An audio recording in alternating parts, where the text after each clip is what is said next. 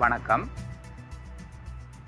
கல்வி அமைச்சும் தேசிய கல்வி நிறுவனமும் இணைந்து நடத்துகின்ற ஊடக வழி மூலமான கற்றல் நிகழ்ச்சி திட்டத்தில் இன்று இணைந்த கணிதம் பாடப்பரப்பை நாங்கள் அவதானிக்க உள்ளோம். இணைந்த கணிதத்திலே பிரயோக கணிதம் என்ற பகுதியிலே உள்ள எளிமை இயக்கம் தொடர்பான விடயத்தை நாங்கள் இன்று அவதானிக்க உள்ளோம். ரைட் எளிமை இயக்கம் ரைட் இந்த எளிமை சேகமண்ட என்ற பாடப்பரப்பிலே மூன்று தேர்ச்சிகளை உள்ளடக்கி இருக்குது இந்த எளிமை சேகமண்ட என்ற பாடப்பரப்பு இயக்கம் தொடர்பான நியூட்டன் மாதிரிகளை உபயோகித்து தளமொன்றில் நிகழும் இயக்கங்களை விளக்குவர். இந்த தேர்ச்சியை அடைவதற்காக மூன்று தேர்ச்சி மட்டங்களை நாங்கள் இங்கு பார்க்குறோம். தேர்ச்சி மட்டம் முதலாவது three point one seven right எளிமை இசை இயக்கம் ஒன்றை பகுப்பாய்வு செய்கிறது. முதலாவது தேர்ச்சி மட்டத்தில் நாங்கள் எளிமை இசை இயக்கம் ஒன்றை எவ்வாறு பகுப்பாய்வு செய்கிறன்றதை பார்க்க போகிறோம் அதில் வந்து எளிமை இசை இயக்க இயக்கம் என்றா என்ன? எளிமை இசையக்கத்தில் நாங்கள் பயன்படுத்தக்கூடிய இயக்க சமன்பாடுகள் போன்ற விடயத்தை தேச்சி மட்டம் மூன்று தசம் ஒன்று ஏழில் பார்ப்போம். தேச்சி மட்டம் மூன்று தசம் ஒன்று எட்டு வந் எட்டு. கிடைக்கோடொன்றின் வழியே நடைபெறும் எளிமை இயக்கம் ஒன்றின் தன்மை. அப்போ கிடைக்கோடின் வழியே நடைபெற எளிமை இயக்கத்தின் தன்மை எப்படி இருக்கும் என்ற விடயத்தை நாங்கள் தேச்சி மட்டம் மூன்று தசம் ஒன்று எட்டில் பார்க்க உள்ளோம். ரைட் தேச்சி மட்டம் மூன்று தசம் ஒன்று ஒன்பது இதில் நிலைக்குத்து கோடொன்றின் வழியே நடைபெறும் எளிமை இசை இயக்கம் ஒன்றின் தன்மையை நாங்கள் அவதானிக்க வேணும் இப்போ மூன்று தேர்ச்சிகளாக பிரித்து நாங்கள் இந்த பாடத்தை அவதானிக்க இருக்கிறோம். எளிமை இயக்கம் தொடர்பான அறிமுகத்துக்கு போவோம். எளிமை இயக்கம் தொடர்பான அறிமுகத்துக்கு நாங்கள் போக போகிறோம் எளிமை இயக்கம் தொடர்பான அறிமுகத்தில் நாங்கள் என்னென்ன பார்க்க வேணும்னு சொன்னால் எளிமை இயக்க தொடர் எளிமை இயக்கம் என்றால் என்ன என்ற வரை விலக்கணத்தை பார்க்க வேணும். முதல் எளிமை இயக்கம் என்னென்ற வரை விலக்கணத்தை பார்க்க வேணும். அடுத்தது வந்து வகையீட்டு சமன்பாடு. ரைட் எளிமை இயக்கத்தினுடைய வகையீட்டு சமன்பாடு இருக்குது. அப்போ வகையீட்டு சமன்பாடுண்டா என்னென்ற விடயத்தை நாங்கள் பார்ப்போம். அடுத்த விடயம் என்ன பார்க்க வேணுமெண்டா? வேகத்தை அதாவது எளிமை இசைக்கமெண்டா என்னென்று முதல் பார்க்குறோம். எளிமை இசைக்க துணிக்கையில் நாங்கள் கணக்குகளை செய்ய வேணும்னு சொன்னால் அதில் பாவிக்கக்கூடிய இயக்கம் சமன்பாடுகள் எங்களுக்கு தேவை. இது புது இயக்கம் உண்டு ஏற்கனவே நாங்கள் படித்த இயக்கங்களை விட இது எளிமை இசையக்கம்ன்றது ஒரு புதுவிதமான இயக்கம். ஆகவே நாங்கள் அந்த எளிமை இசைக்கு தொடர்பான வரையறை வகையீட்டு சமன்பாடு அங்கால நாங்கள் என்ன பார்க்க போகிறோம்னா எளிமை இயக்கத்தில் பயன்படுத்தக்கூடிய இயக்க சமன்பாடுகளை நாங்கள் பார்ப்போம். இயக்க சமன்பாடுகளை பார்ப்போம். அதில் முதலாவது வந்து வேகத்தை வேகத்துக்கும் இடப்பெயர்ச்சிக்குமான தொடர்பு. வேகத்துக்கும் இடப்பெயர்ச்சிக்குமான தொடர்பு. இரண்டாவது வந்து எளிமை இயக்கத்தினுடைய வீச்சமெண்டா என்ன? அலைவு காலமெண்டா என்ன என்ற விடயங்களை நாங்கள் பார்ப்போம். அடுத்தது வேகத்தை இடப்பெயர்ச்சி சார்பாக பெறுதல். ரைட் வேகத்துக்கும் இடப்பெயர்ச்சிக்கும் நேரத்துக்கும் இடையிலான தொடர்பை நாங்கள் பார்க்க போகிறோம் இடப்பெயர்ச்சிக்கும் நேரத்துக்கும் இடையிலான தொடர்பு. இறுதியாக என்ன பார்க்க போகிறோம்னா இந்த எளிமை இயக்கம் தொடர்பான அறிமுகத்தில் வட்ட இயக்கத்தோட இணைந்த எளிமை இயக்கம் தொடர்பான விடயத்தை பார்த்தோம்னு சொன்னால் இந்த எளிமை இயக்கம் தொடர்பான அறிமுகம் எங்களுக்கு பூரணமாக இருக்கும். அப்போ எளிமை இசையக்கம் என்ற அறிமுகத்துக்கு ஒருக்கா போவோம். அப்போ நாங்கள் இயக்கவியல் என்ற பாடத்தில் வந்து நிலையாக இருக்கிற துணிக்கைகள துணிக்கைகளை பற்றி படிக்கிற வந்து நிலையியல் என்ற பாடம் இயங்குகின்ற துணிக்கைகளை பற்றி படிக்கிறது வந்து இயக்கவியல் என்ற பாடம் இயக்கவியல் என்ற பாடம். அப்போ இயக்கவியலில் இந்த எளிமை இயக்கம் இருக்குது. அப்போ எளிமை இயக்கம் வந்து இயக்கங்களோட எப்படி சம்மந்தப்பட்டிருக்குன்னு பார்ப்போம். அப்போ நாங்கள் படிக்கிற இயங்குகிற துணிக்கைகளை பற்றி படிக்கிறோம். அந்த இயங்குகிற துணிக்கைகளை பற்றி படிக்கல என்னென்ன வகை இருக்குன்னு பார்க்குறோம். அப்போ இந்த இயக்கங்கள் நாங்கள் ரெண்டு வகையாக பிரிக்கிறோம். இந்த இயக்கங்களை வந்து நாங்கள் ரெண்டு வகையாக பிரிக்கிறோம். எப்படின்னு சொன்னால் ஒன்று சாதாரண இயக்கம் என்று பார்க்குறோம். அடுத்தது அலைவு இயக்கம் என்று பார்க்குறோம். ஒன்று வந்து சாதாரண இயக்கம் என்று பார்க்குறோம். அலைவு இயக்கம் என்று நாங்கள் பார்க்குறோம்.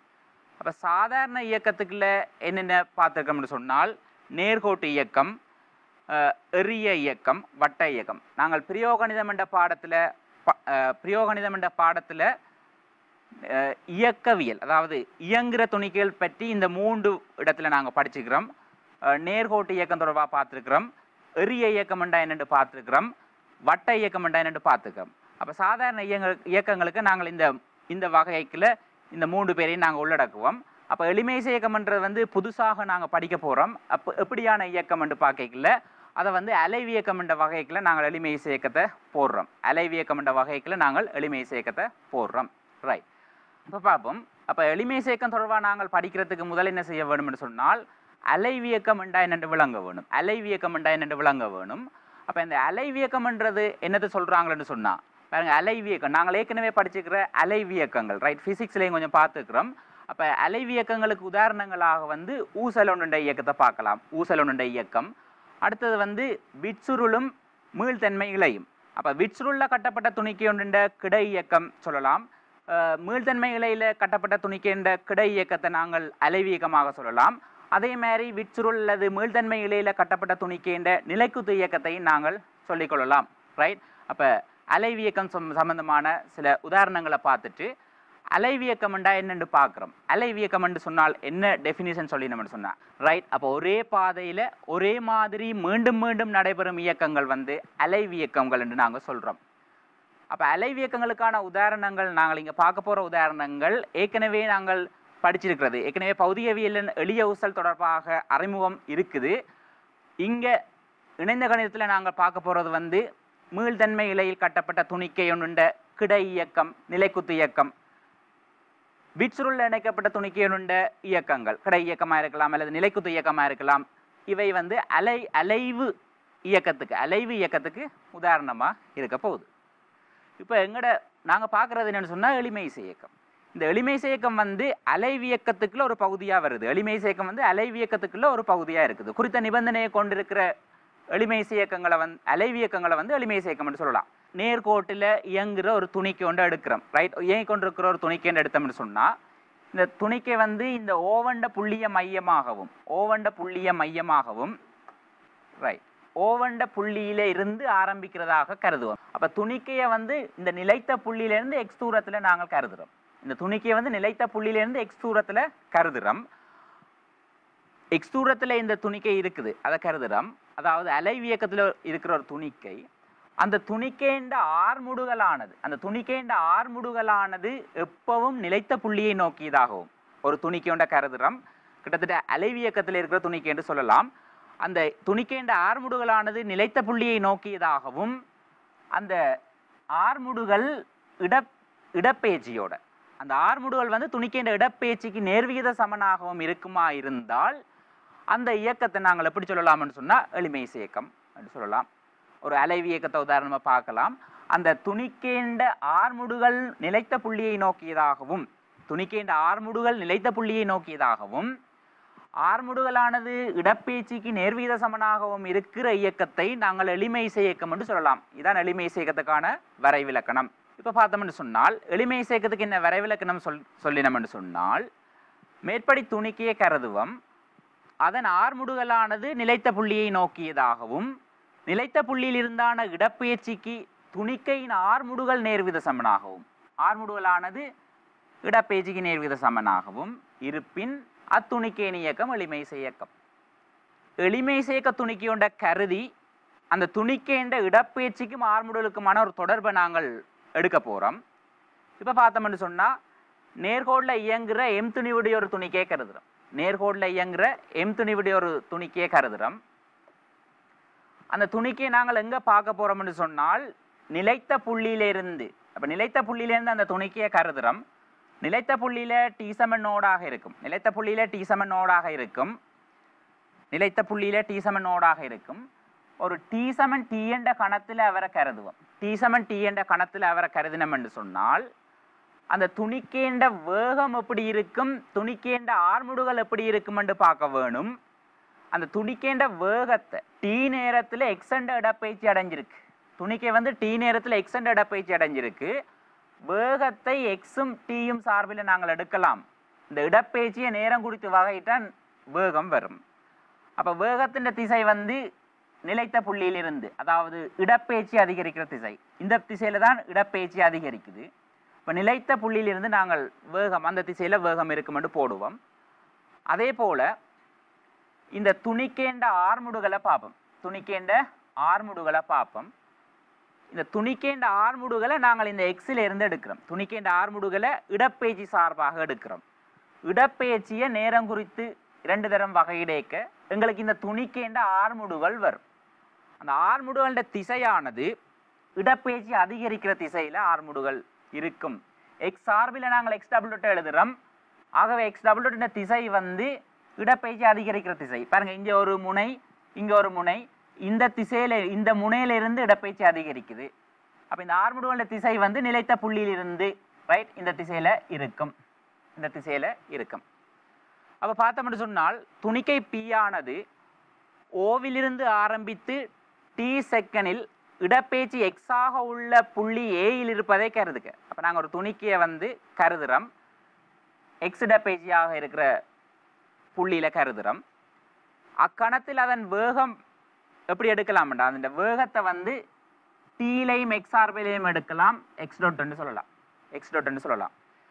அந்த கணத்தில் எக்ஸ் இடப்பெயர்ச்சியான கணத்தில் ஏ என்ற புள்ளியில அந்த துணிக்கேண்ட ஆர்முடுகள் அந்த துணிக்கேண்ட ஆர்முடுகள் வந்து எப்படி இருக்கும்னு சொன்னால் இந்த எக்ஸ் சார்பிலையும் டி சார்பிலையும் எடுக்கலாம். அந்த துணிக்கை இந்த ஆர்முடோல் வந்து எக்ஸ் டபுள் டொட்டாக இருக்கும். அப்போ இங்கே நாங்கள் என்ன போட்டிருக்கிறோம்னு சொன்னால் வேகத்தையும் இடப்பேச்சியையும் வேகத்தையும் ஆர்முடுகளையும் நாங்கள் எக்ஸ்கமட்டியில் கண்டிருக்கிறோம். அப்போ எக்ஸ்கமட்டியிலான சார்புகள் என்று சொல்லலாம். அப்போ வேகம் வந்து டிஎக்ஸ் பை டிடி இடப்பெயர்ச்சியை நேரம் குறித்த வகையிடலாம் அப்போ டிஎக்ஸ் பை டிடியை வந்து நாங்கள் இப்படி எழுதி கொள்ளுவோம்.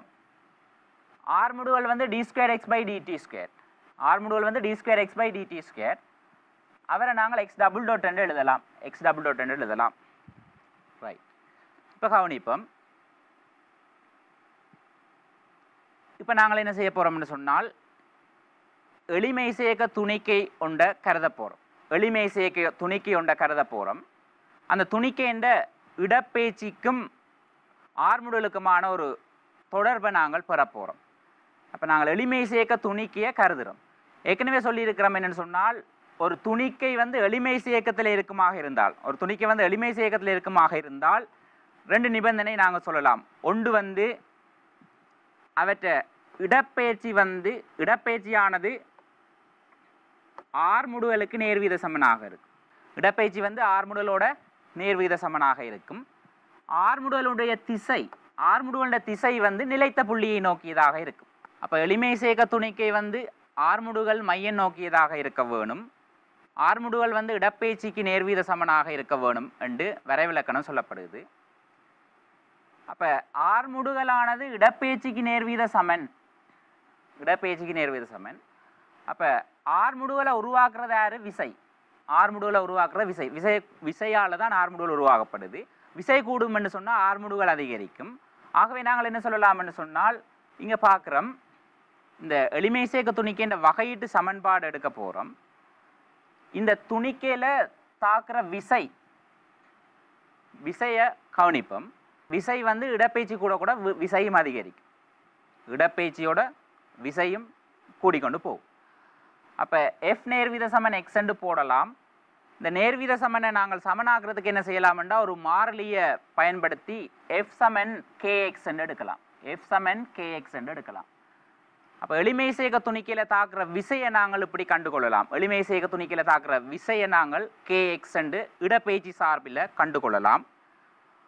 ஆனால் ஏற்கனவே பார்த்தோம்னு சொன் பாத் இங்கே பார்க்குறோம்.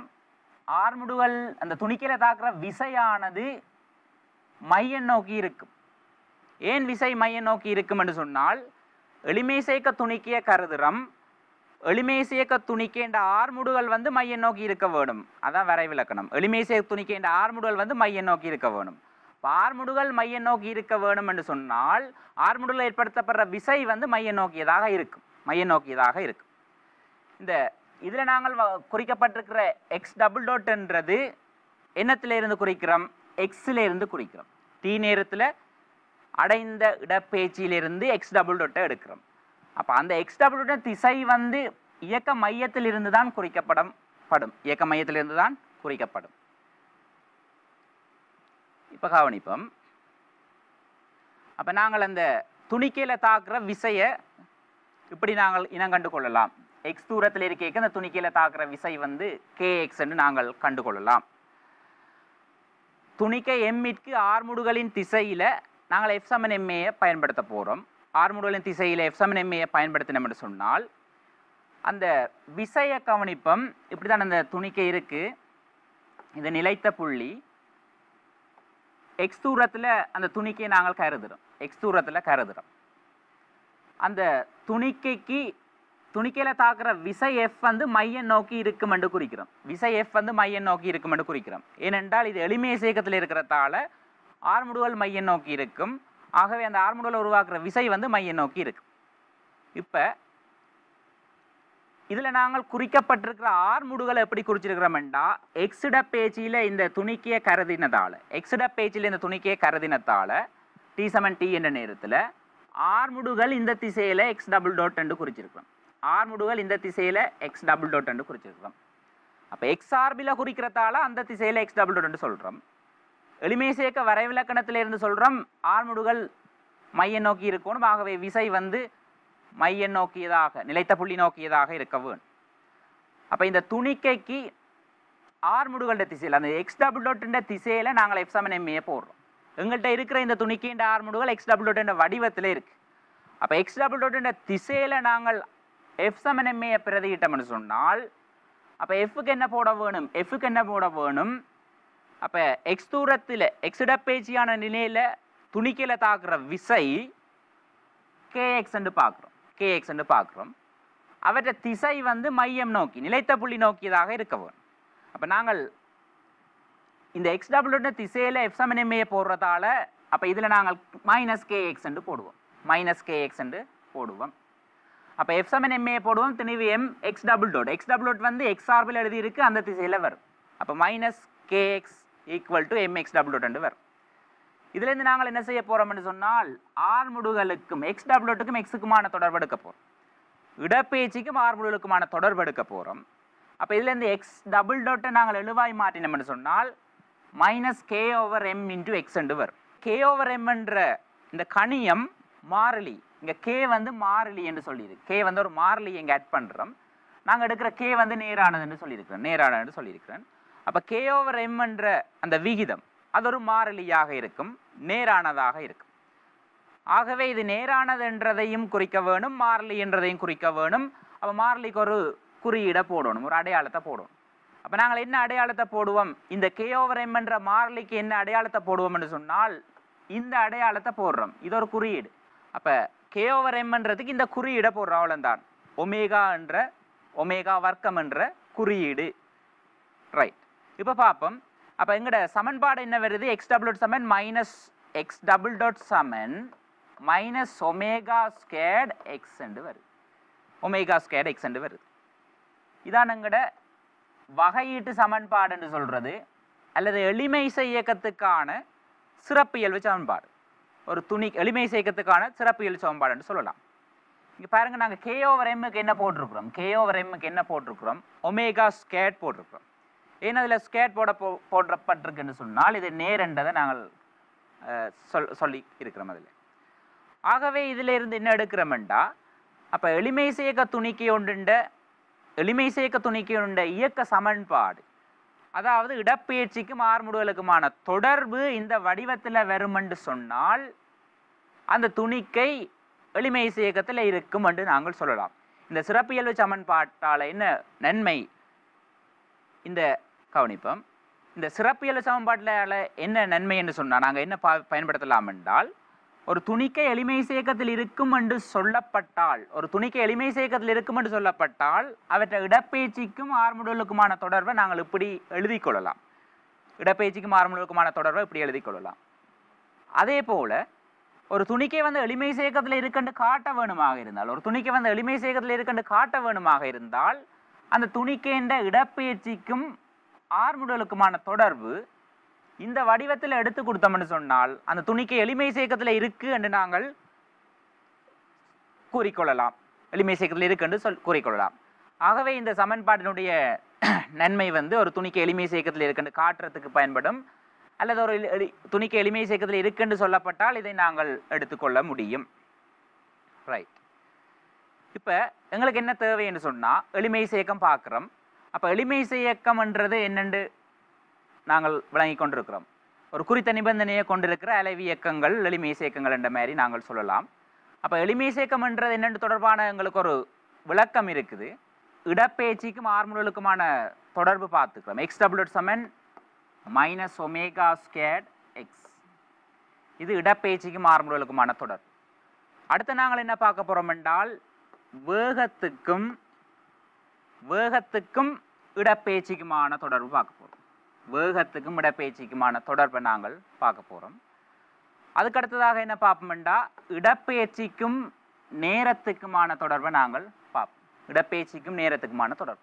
இப்போ இந்த எளிமை சேர்க்கம் என்ற பாடத்தில் நாங்கள் பயன்படுத்தக்கூடிய மூன்று இயக்க சமன்பாடுகள் நாங்கள் எடுத்து அது தொடர்பாக கணக்குகளை செய்ய போகிறோம் அப்போ நாங்கள் இப்போ எங்கே போக போகிறோம்னு சொன்னால் வேகத்துக்கும் இடப்பெயர்ச்சிக்குமான சமன்பாட்டுக்கு போக போகிறோம் வேகத்துக்கும் இடப்பெயர்ச்சிக்குமான சமன்பாடுகிட்ட போக போகிறோம்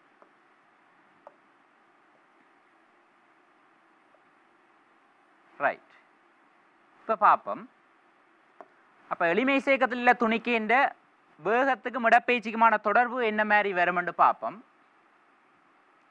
இப்போ கவனிங்க.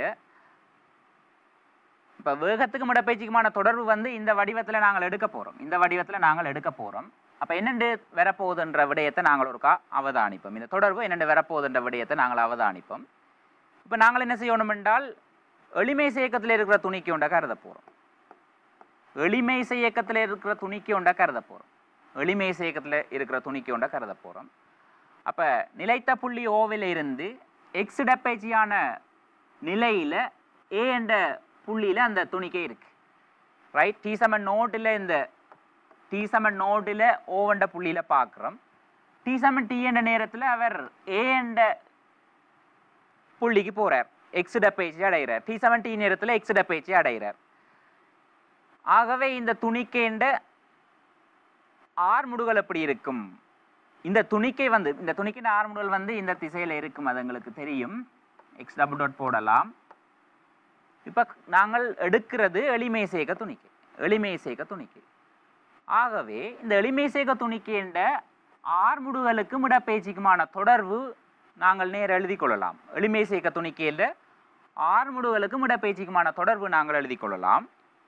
எப்படி வரும் என்று சொன்னால் எக்ஸ் டபுள் டாட் சமன் மைனஸ் ஒமேகா ஸ்கேர்ட் எக்ஸ் என்ற வடிவத்தில் வரும். ஆர்முடுகளுக்கும் இடப்பெயர்ச்சிக்குமான தொடர்பு எக்ஸ் டபுள் டாட் சமன் மைனஸ் ஒமேகா ஸ்கேட் எக்ஸ் என்ற வடிவத்தில் வரும். இப்போ எங்களுக்கு தேவையானது என்ன? எக்ஸ் டோட்டுக்கும் எக்ஸுக்குமான தொடர்பு தான் வேணும். எக்ஸ் டோட்டுக்கும் எக்ஸுக்குமான தொடர்பு.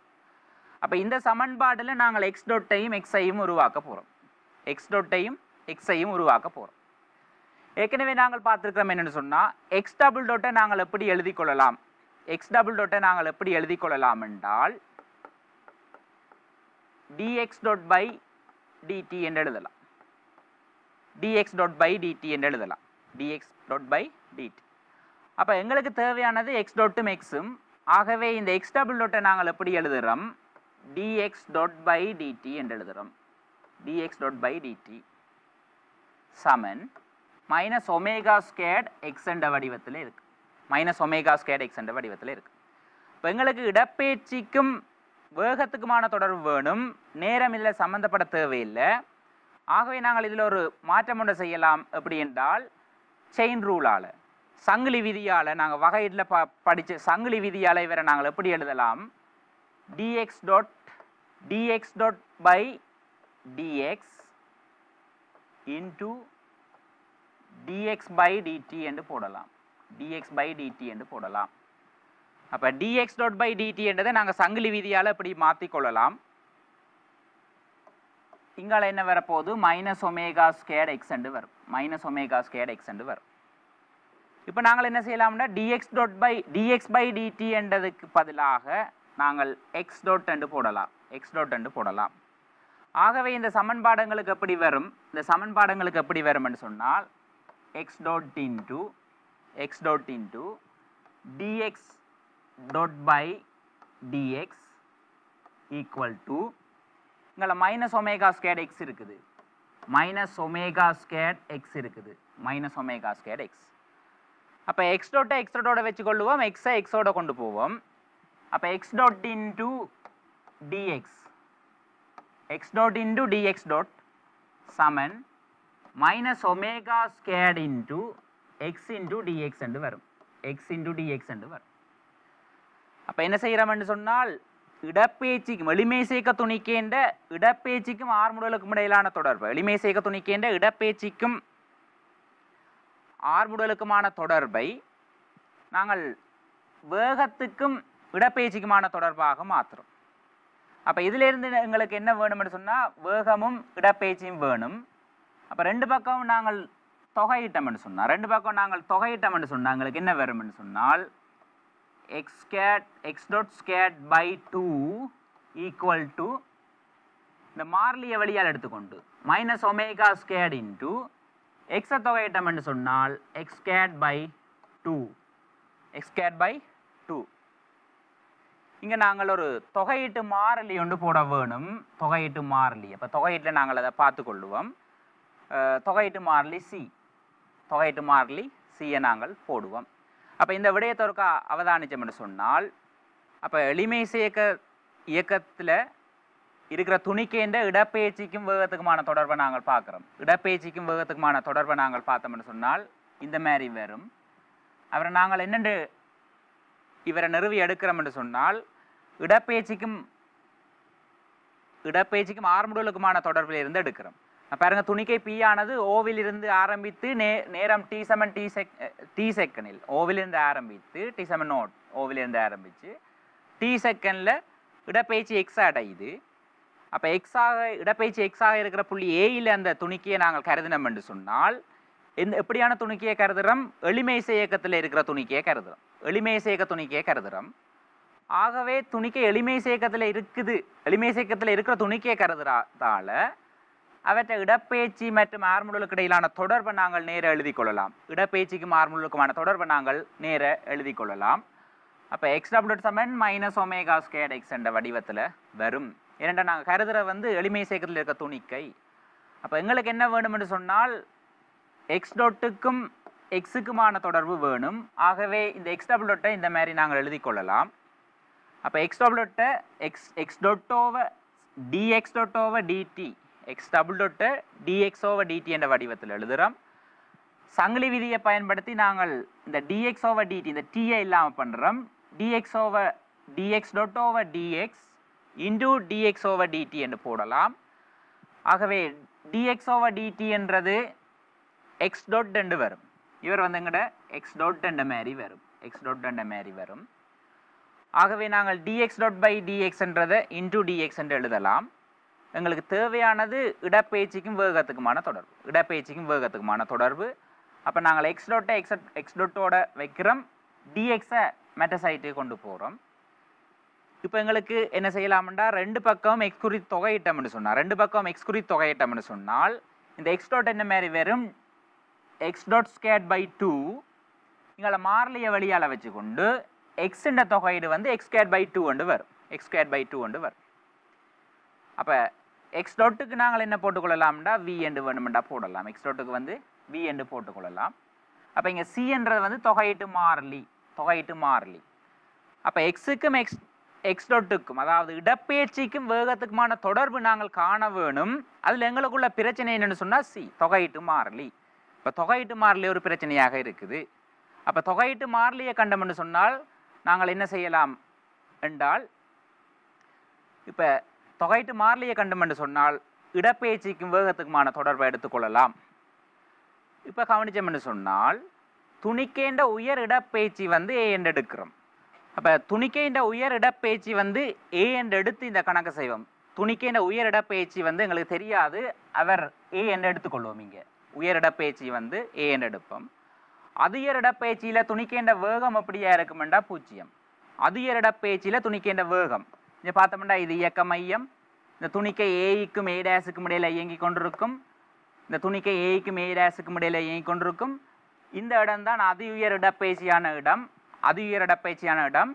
அப்போ அதி உயர் இடப்பெயர்ச்சியை நாங்கள் ஏ என்று எடுத்துக்கொள்வோம். அதி உயர் இடப்பெயர்ச்சி நாங்கள் ஏ என்று எடுத்துக்கொள்வோம். அப்போ இந்த இடத்துல வந்து வேகம் பூஜ்ஜியம். வேகம் பூஜ்ஜியமாக இருக்கும். அதி உயர் இடப்பெயர்ச்சியில் வந்து அந்த துணிக்கின்ற வேகம் வந்து பூஜ்ஜியமாக இருக்கும். ஆகவே அதிக இடப்பெயர்ச்சி எக்ஸமன் ஏ ஆகும் பொழுது எக்ஸமன் ஏ ஆகும் பொழுது வி வந்து பூஜ்ஜியமாக இருக்கும். எக்ஸமன் ஏ ஆகும் பொழுது வி வந்து பூஜ்ஜியமாக இருக்கும்.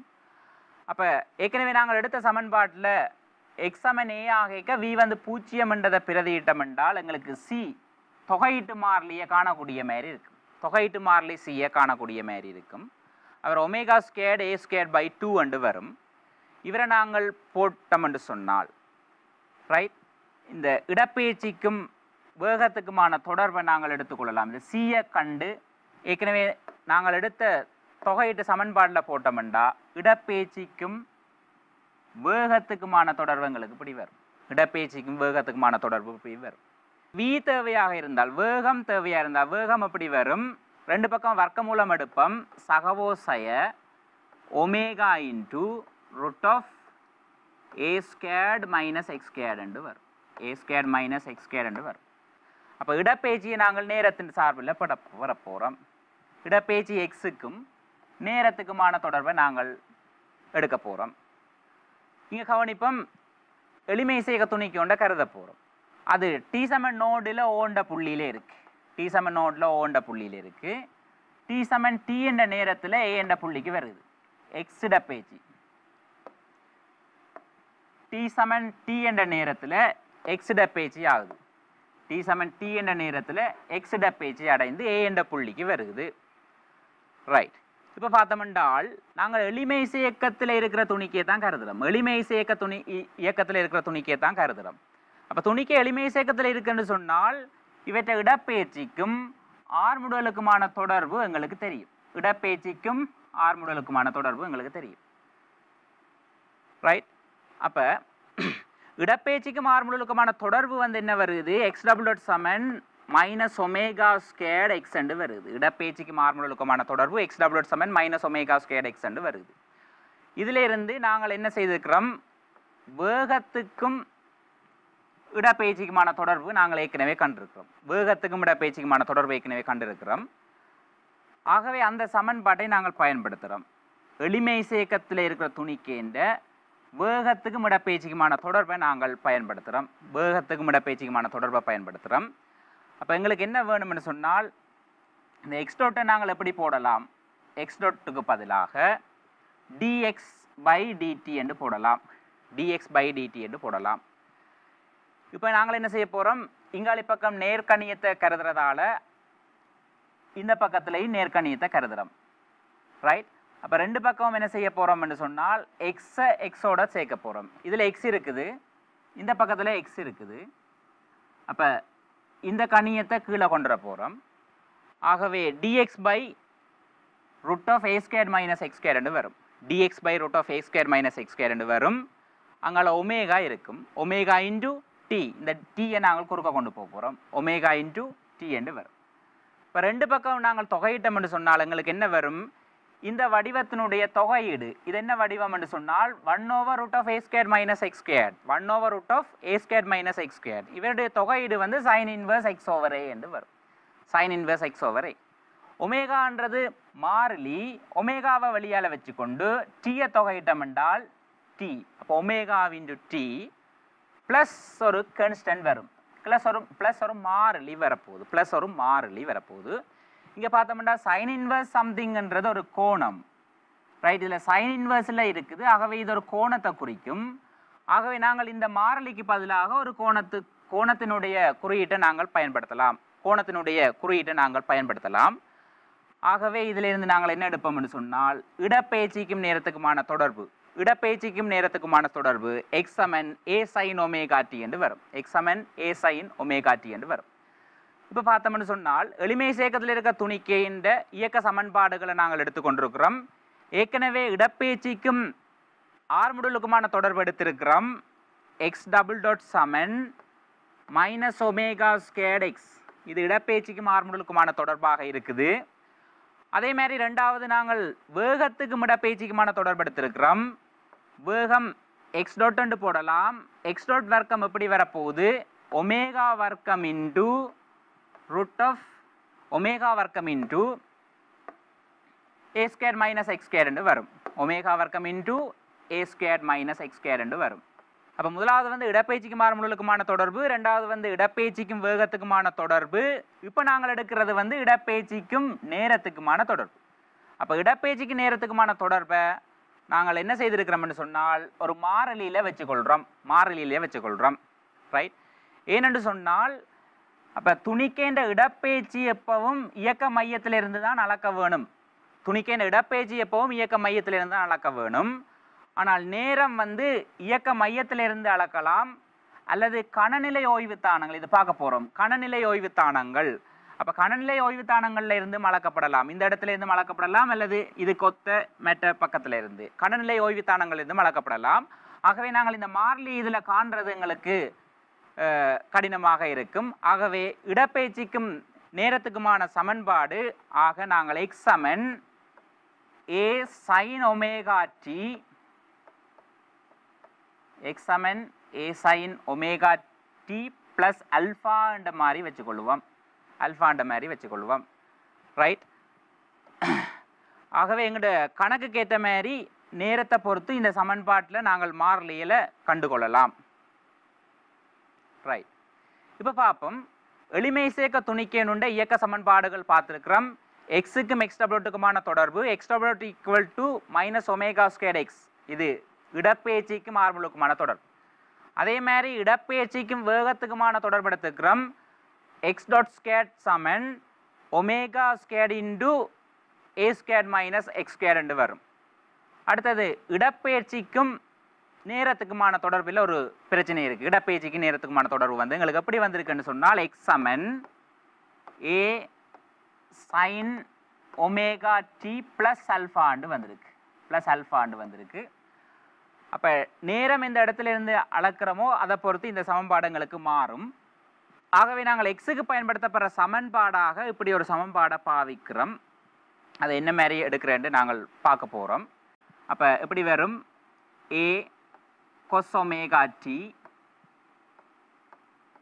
plus b sin omega t என்று வரும். sin omega t என்று வரும். அப்போ இடப்பெயர்ச்சிக்கு நேரத்துக்கு முடிய சமன்பாடாக இந்த சமன்பாட்டிலிருந்து இப்படி ஒரு சமன்பாடாக சமன்பாடை நாங்கள் எடுத்துக்கொள்ளுவோம். ரைட் அப்போ குறித்த ஒரு எளிமையை இயக்கமாக இருந்தால் அதுக்கு இந்த சமன்பாடில் இருக்கிற மாறிலிகள் என்ன? இது எக்ஸுக்கும் டீக்குமான தொடர்பு. எக்ஸுக்கும் டீக்குமான தொடர்பு. அப்போ இங்கே மாறிலிகள். ஒமேகா ஒரு மாறிலி ஏ என்றது ஒரு மாறிலி பி என்ற ஒரு மாறிலி.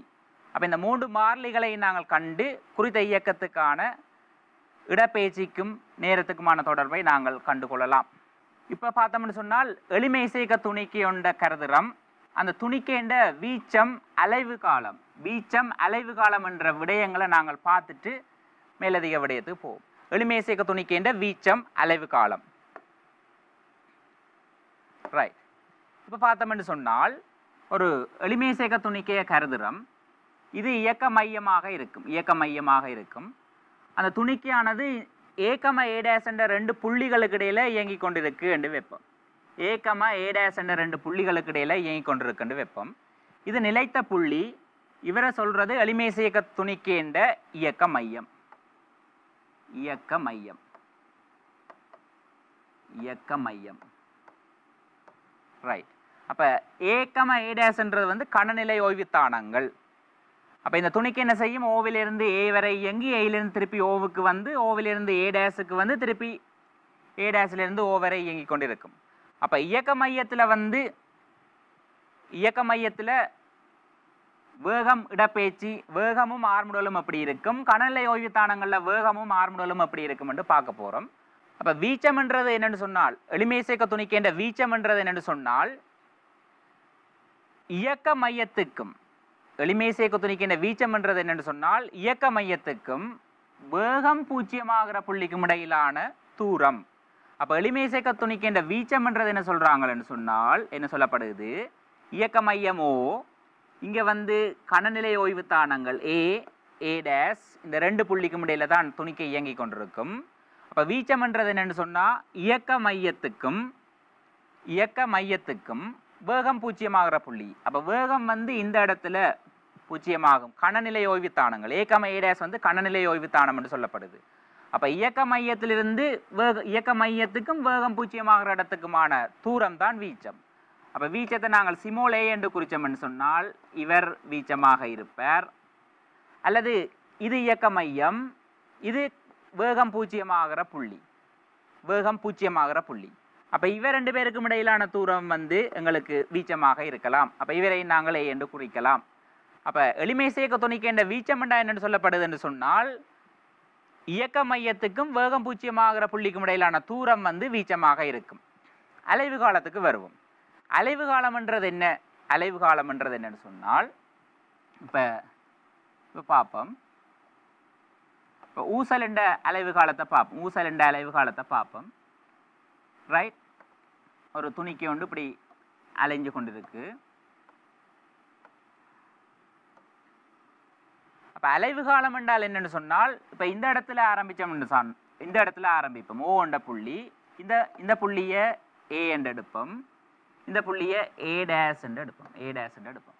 அப்போ அலைவு காலம் என்றால் என்ன வரைவிலக்கணம் என்று சொன்னால் ஒரு பூரண அலைவை ஆற்றத்துக்கு எடுக்கிற நேரம்.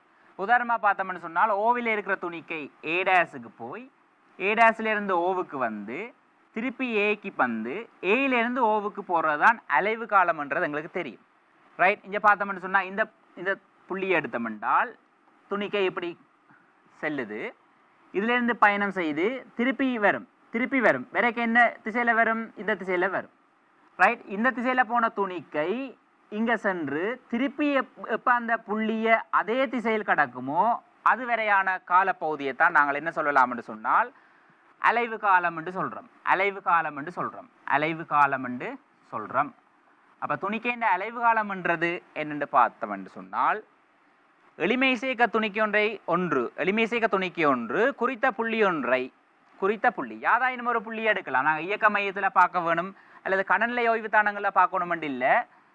துணி எளிமை சேர்க்க துணிக்கு ஒன்று குறித்த புள்ளி ஒன்றை குறித்த திசையில் கடக்கும் கணத்திலிருந்து குறித்த திசையில் கடக்கிற கணத்திலிருந்து அப்புள்ளியை மீண்டும் அதே திசையில் மீண்டும் அதே திசையில் கடக்கும் வரையான காலப்பகுதியை வந்து நாங்கள் அலைவு காலம் என்று சொல்லலாம். அலைவு காலம் என்று சொல்லலாம். ரைட் அடுத்தது வந்து நாங்கள் என்ன செய்ய போறோம்னா இந்த அலைவு காலத்தை எப்படி காணுறது எளிமை சேர்க்க துணிக்கின்ற வீச்சத்தை என்னென்று காணுறதுன்னு பார்க்க போகிறோம் ரைட் அப்போ துணிக்கின்ற வீச்சத்தை எப்படி காண்றது அலைவு காலத்தை என்ன மாதிரி காண்றதுன்னு பார்க்க போகிறோம் ரைட் இப்போ கவனிச்சோம்னு சொன்னால் எளிமை சேர்க்க துணிக்கின்ற வீச்சம். எளிமை சேர்க்க துணிக்கின்ற வீச்சம். ரைட் வீச்சம்ன்றது என்னன்னு சொன்னால் இது இயக்க மையம் ஓவண்ட் எடுப்போம் இயக்க மையம் ஓவண்ட் எடுப்போம் இது ஏ இது ஏ டேஸ் ஏக்கமா ஏ டேஸ் இந்த புள்ளிக்குள்ள இந்த ரெண்டு புள்ளிகளுக்கு இடையில் துணிக்கை அசைஞ்சு கொண்டு இருக்கும் அப்போ வீச்சம் வீச்சத்தை நாங்கள் காண வேணும். அதாவது இந்த தூரத்தை நாங்கள் காண வேணும். இந்த தூரத்தை நாங்கள் காண வேணும். அப்போ வீச்சத்தை என்ன மாதிரி காண போறோம்னு சொன்னால் எளிமை சேர்க்க துணிக்கின்ற வீச்சம். ஆகவே அந்த எளிமை சேர்க்க துணிக்கின்ற இடப்பெயர்ச்சிக்கும் ஆர்முடலுக்குமான தொடர்பு இந்த முறையில் நாங்கள் எடுக்கலாம். இப்போ பார்த்தோம்னு சொன்னால் இந்த வகையீட்டு சமன்பாட்டினுடைய இந்த வகையீட்டு சமன்பாட்டினுடைய தீர்வு எக்ஸ் டபுள் சமன் மைனஸ் ஒமேகா ஸ்கொயர் என்ற வகையீட்டு சமன்பாட்டில் இருந்து எக்ஸுக்கான தொடர்பு நாங்கள் இந்த மாதிரி எடுக்கலாம். ரைட் இந்த மாதிரி எடுக்கலாம். அப்போ எக்ஸ் டபுள் சமன் மைனஸ் ஒமேகா ஸ்கொயர் என்னும் சமன்பாட்டின தீர்வை வந்து இந்த மாதிரி எடுக்கலாம். ஆகவே எக்ஸ் சமன் எக்ஸுக்கும் டீக்குமான தொடர்பிலிருந்து இந்த சமன்பாடுங்களுக்கு கிடைக்கும். எக்ஸுக்கும் டீக்குமான தொடர்பிலிருந்து இந்த சமன்பாடு கிடைக்கும். இதை பார்த்தோம்னு சொன்னால் ஏ சைன் ஏ சக பி என்ற மாதிரி இருக்குது ஏ சைன் ஏ சக பி என்ற மாதிரி இருக்குது. அப்போ சைன் ஏ ப்ளஸ் பி என்ற விரிவை போட்டோம்னு சொன்னால் sine A cos b sine a cos b plus கொசே sine B என்று வரும். அப்போ இடப்பேச்சிக்கும் நேரத்துக்குமான தொடர்பை நாங்கள் இப்படி எழுதி கொள்ளலாம். அதிலிருந்து இந்த தொடர்பில் இருக்கிற மாறிலிகளை கருதினமெண்டா மாறிலிகளை கருதினமெண்டா கொசல்ஃபா ஒரு மாறிலி ஏ ஒரு மாறிலி அப்போ ஏஐயும் கொசல்ஃபாவையும் ஒன்று சேர்த்து எழுதுவோம். இவ ரெண்டு பேரும் மாறிலி. இங்கே டி வந்து மாறி. அதே மாதிரி இங்கே சைன் அல்ஃபாவும் இந்த ஏயும் மாறிலியாக இருக்கும். நாங்கள் இதை பிரேக் அவுட் ஆக்கிறோம் ஏயும் மாறிலியாக இருக்கும். இந்த மாறிலிக்கு ஒரு குறியீடு. ஏ சைன் அல்ஃபான்றது மாறிலி. ஏ சைன் அல்ஃபான்றது ஒரு மாறிலி. அவரை நாங்கள் ஏ என்று போடுவோம். ஏ கொசல்ஃபான்றது மாறிலி. இங்கே மாறிகள் இல்லை. ஏ கொசல்ஃபான்றது மாறிலி. ரைட் அப்போ ஏ சைனல்ஃபாவை ஏண்டு ஏ போடுறோம். ஏ கொசல்ஃபாவை பி என்று போடுறோம். ஆகவே இடப்பெயர்ச்சிக்கும் நேரத்துக்குமான சமன்பாடு நாங்கள் இப்படி பெற்றுக்கொள்ளலாம். இடப்பெயர்ச்சிக்கு நேரத்துக்குமான சமன்பாடு நாங்கள் இப்படி பெற்றுக்கொள்ளலாம். ஏன் இந்த வடிவத்தில் நாங்கள் வச்சுக்கொள்கிறோம் என்றால் நேரமானது இயக்க மையத்திலிருந்து அளக்கப்படலாம் அல்லது கடநிலை ஓய்வு தானங்களிலும் இருந்து வளர்க்கப்படலாம். அப்போ இடப்பெயர்ச்சிக்கு நேரத்துக்குமான தொடர்பு எங்களுக்கு தேவை என்று சொன்னால் குறித்த ஒரு எளிமைஸ் இயக்கத்தில் குறித்த ஒரு எளிமைஸ் இயக்கத்தில் இடப்பெயர்ச்சிக்கு நேரத்துக்குமான தொடர்பு எங்களுக்கு தேவைன்னு சொன்னால் இதில் சம்பந்தப்படுற மாறிலிகள் அப்போ ஒமேகான்றது ஒரு மாறிலி ஒமேகான்றது ஒரு மாறிலி ஏ என்றது ஒரு மாறிலி பி என்றது ஒரு மாறிலி. அப்போ குறித்த ஒரு எளிமேசு இயக்கத்துக்கு உரிய இடப்பெயர்ச்சிக்கும் நேரத்துக்குமான சமன்பாடு வந்து சமன்பாட்டு சமன்பாட்டில் எங்களுக்கு என்ன தேவைப்படும் என்றால் இந்த மாறிலிகள் தேவைப்படும். அப்போ குறித்த ஒரு இயக்கத்தில் இடப்பயிற்சிக்கு நேரத்துக்குமான தொடர்பு நாங்கள் பயன்பட பயன்படுத்த போகிறோம் என்றால் தொடர்பை நாங்கள் பயன்படுத்த போகிறோம் என்று சொன்னால் இந்த அந்த இயக்கத்துக்குரிய மாறிலிகளை நாங்கள் காண வேண்டி இருக்கும். மாறிலிகளை நாங்கள் காண வேண்டி இருக்கும். ரைட் இப்போ பார்த்தோம் என்று சொன்னால் அப்போ எளிமை இடத்துல இருக்கிற துணிக்கையினுடைய இடப்பேச்சிக்கும் நேரத்துக்குமான சமன்பாட்டை கருதுறோம். இடப்பெயர்ச்சிக்கு நேரத்துக்குமான சமன்பாடை கருதுறோம். அப்ப வீச்சம்ன்றது என்ன? வீச்சம்ன்றது என்னன்னு சொன்னால் வீச்சம்ன்றது என்னன்னு சொன்னால் கடநிலை ஓய்வு தானத்துக்கும் இயக்க மையத்திலிருந்து கடநிலை ஓய்வு தானத்துக்கு இடையிலான தூரம் தான் வீச்சம். அப்ப வீச்சத்தை நாங்கள் காண வேணுமாக இருந்தால் வீச்சம்ன்றது என்ன? எக்ஸினுடைய மேக்சிமம் எக்ஸினுடைய மேக்சிமம் எக்ஸ் உயர்வு தான் வீச்சமாக இருக்கும். இப்போ எக்ஸ் வந்து இயக்க மையத்திலேருந்து அளக்கிறோம். அப்போ எக்ஸின்ற உயர்வு தான் எங்களுக்கு வீச்சமாக இருக்கும். அப்போ வீச்சத்தை காணவா காண வேணுமாக இருந்தால் இந்த எக்ஸினுடைய உயர்வை காண வேணும். எக்ஸினுடைய உயர்வை காண வேணும். அப்போ எக்ஸ் வந்து என்ன என்ன எப்படி தொடர்பட்டிருக்குது? A cos omega t plus b sine ஒமேகாட்டின்னு தொடர்பட்டிருக்குது. எக்ஸ் வந்து a cos omega t plus b sine ஒமேகாட்டின்னு தொடர்பட்டிருக்குது. ஆகவே இதில் இருந்து நாங்கள் என்னத்தை எடுத்துக்கொள்ளலாம் என்றால் இந்த எக்ஸிண்ட மேக்ஸிமம் எடுக்க வேணும் எக்ஸிண்ட மேக்ஸிமம் எடுக்க வேணும் அப்போ எக்ஸ் வந்து என்னத்தில் தங்கியிருக்கு இவர் மாறலி இவர் மாறலி இந்த மாறுகிற ஒமேகாட்டி இவரில் தான் எக்ஸ் தங்கி இருக்குது அப்போ a cos theta plus b sine டீட்டான்ற வடிவத்தில் இருக்குது அப்போ a cos theta plus b sine டீட்டான்ற வடிவத்தில் இருக்கிறபடியா எக்ஸினுடைய மேக்ஸிமத்தை காண்றதுக்கு எக்ஸினுடைய மேக்ஸிமத்தை காண்றதுக்கு இந்த கொஸ் ஒமேகாட்டி கொஸ் அதிகரிச்சதுன்னு சொன்னால் சைன் வந்து குறையும். இந்த ஒமேகாட்டி கொஸ் அதிகரிக்குமாக இருந்தால் சைன் வந்து குறையும். ஆகவே இந்த மாறி டீயை நாங்கள் ஒரு இடத்துல கொண்டு வர வேணும். திருவோண கணிதத்தில் சமன்பாடுகளின் தீர்வுகளில் நாங்கள் பார்த்துருக்குறோம். இந்த கொஸ் ஒமேகாட்டியையும் சைன் ஒமேகாட்டியையும் நாங்கள் எப்படி மாற்றலாம் என்று சொன்னால் கொஸ் ஒமேகாட்டியுடைய குணகம் ஏ ஆக இருக்கும். சைன் ஒமேகாட்டியுடைய குணகம் பி ஆக இருக்கும். ஆகவே நாங்கள் ரெண்டு பக்கம் என்ன செய்யலாம் என்றால் வர்க்க மூலம் ஏ வர்க்கம் சக பி வர்க்கத்தால் ரெண்டு பக்கமும் பெருக்கி பிரிக்கிறோம். பெருக்கி பிரிக்கிறோம். ரைட் ஏனென்று சொன்னால் இந்த எக்ஸினுடைய மேக்சிமத்தை காண்றதுக்கு இந்த டீயை ஓடத்தில் கொண்டு வர போகிறோம் திருகோண கணிதத்தில் இந்த தொடர்பு இருக்குது. ஆகவே எங்களுக்கு என்ன வரும் என்று சொன்னால் ஏ ஓவர் பி இங்கே கவனிப்போம். இந்த ஒமேகா டி என்றது ஒரு கோணம் என்று எடுத்தோம்னு சொன்னால் கொஸ் ஒமேகா டி இந்த குணகம் ஏ ஆக இருக்கும். ஏ சைன் ஒமேகா டிட குணகம் பி ஆக இருக்குமாக இருந்தால் இந்த செம்பக்க நீளம் ஏ வர்க்கம் சக பி வர்க்கம். இந்த ரூட் ஆஃப் ஏ வர்க்கம் சக பி வர்க்கத்தால் நாங்கள் பெருக்கி பிரிக்கிறோம். ஆகவே இந்த கோணத்தை ஒரு குறியீடால வைக்கிறோம். அல்ஃபா ஆண்டு வச்சோம்னு சொன்னால் ஏஓவை வர்க்கமூலம் ஏ வர்க்கம் சக பி வர்க்கத்தை சைன் அல்ஃபான்னு சொல்லலாம். B over root of a square plus b square இவரை வந்து நாங்கள் கொஸ் அல்ஃபான்னு சொல்லலாம். இந்த முக்கோணத்தில் நாங்கள் செங்கோண முக்கோணத்தில் சொல்லிக்கொள்ளலாம் ஆகவே நாங்கள் என்ன செய்யலாம் என்றால் எக்ஸை தனிய சைனில் எழுதி கொள்கிறோம். தனிய சைனில் எழுதி கொள்கிறோம். எங்களுக்கு இப்போ எக்ஸினுடைய மேக்ஸிமம் வேணும். எக்ஸுடைய மேக்ஸிமம் வேணும்னு சொன்னால் இதில் மாறி வந்து சைன் இந்த கோணம் தான் மாறலி. அப்போ சைன் டீட்டா வந்து எப்படி இருக்கும்னு சொன்னால் ப்ளஸ் ஒன்னுக்கும் மைனஸ் ஒன்னுக்கும் இடையில இருக்கும். சைன் டீட்டா வந்து ப்ளஸ் ஒன்னுக்கும் மைனஸ் ஒன்னுக்கும் இடையில இருக்கும். அப்போ எக்ஸ் மேக்சிமமாக வேணுமாக இருந்தால் சைன் ஓம் alpha plus omega t sine இந்த கோணம் வந்து சைன் இந்த கோணம் வந்து சைன் இந்த கோணம் இந்த பெருமானம் உயர்வாக இருக்க வேணும். இவனுடைய பெருமா உயர்வு ப்ளஸ் ஒன் ஆகவே இந்த சைன் அல்ஃபா ப்ளஸ் ஒமேகா டிக்கு ப்ளஸ் ஒன் போட்டோம்னு சொன்னால் எக்ஸ் மேக்ஸிமம் வந்து இப்படி எங்களுக்கு கிடைக்கும். அப்புறம் துணிக்கேண்ட வீச்சம் எங்களுக்கு காண வேணுமாக இருந்தால் எளிமை சேர்க்க துணிக்கேண்ட வீச்சம் காண வேணுமாக இருந்தால் இடப்பேஜிக்கும் நேரத்துக்குமான தொடர்பில் இடப்பேஜிக்கு நேரத்துக்குமான தொடர்பில் ஏக்கம பி என்கிற மாறிலிகள் தெரியுமாக இருந்தால் நாங்கள் வீச்சத்தை கண்டுகொள்ளலாம். மாறிலிகள் தெரியுமாக இருந்தால் வீச்சத்தை கண்டுகொள்ளலாம். ரைட் அடுத்து வந்து அலைவு காலம் நாங்கள் பார்க்க வேணும். அலைவு காலம் நாங்கள் பார்க்க வேணும். அப்போ அலைவு காலத்தை பார்க்குறதுக்கு முதல் இந்த எளிமேசேக துணிக்கையை கருதுவோம். எளிமேசேக துணிக்கையை கருதுனோம்னு சொன்னால் இப்போ ஊசலை எடுத்து பார்ப்போம். அப்போ ஊசல் என்ன செய்யுது? இந்த மாதிரி அசைஞ்சு கொண்டிருக்குன்னு சொன்னால் இதான் நிலைத்த புள்ளியாக இருக்கும். நிலைத்த புள்ளியாக இருக்கும். ஏகம பி என்ற இந்த முனைகள் வந்து கணநிலை ஓய்வுத்தானங்கள் ஏகம பி வந்து கணநிலை ஓய்வுத்தானங்கள் அப்போ எளிமேசேக துணிக்கை எவ்வாறு இருக்கும்? எளிமேசேக துணிக்கை எவ்வாறு இருக்கும்னு சொன்னால் இயக்க மையத்தில் இயக்க மையத்தில் எளிமைசேக சேர்க்க துணிக்கின்ற வேகம் வந்து உயர்வாக இருக்கும் மேக்சிமமாக இருக்கும். இயக்க மையத்தில் வந்து எளிமைசேக சேர்க்க துணிக்கின்ற வேகம் மேக்சிமமாக இருக்கும். ஏகம பி என்றது தானங்கள். ஓய்வுத்தானங்கள் ஓய்வு ஓய்வுத்தானங்களில் வந்து வேகம் பூஜ்ஜியமாக இருக்கும். கணநிலை ஓய்வுத்தானங்களில் வந்து வேகம் பூஜ்ஜியமாக இருக்கும். கணநிலை ஓய்வுத்தானங்களில் வேகம் பூஜ்ஜியமாக இருக்கும்.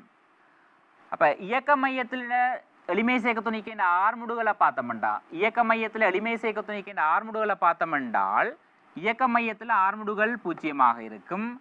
கணநிலை ஓய்வுத்தானங்களில் ஆர்முடுகள் உயர்வாக இருக்கும். ஆர்முடுகள் உயர்வாக இருக்கும். ரைட் இந்த விடயத்தை வச்சுக்கொண்டு நாங்கள் அலைவு காலம் என்ற விடயத்துக்கு போவோம். அலைவு காலம். அப்போ துணிக்கின்ற அலைவு காலம் என்றால் என்ன? அலைவு காலம் என்றால் ஏற்கனவே பார்த்துருக்குறோம்.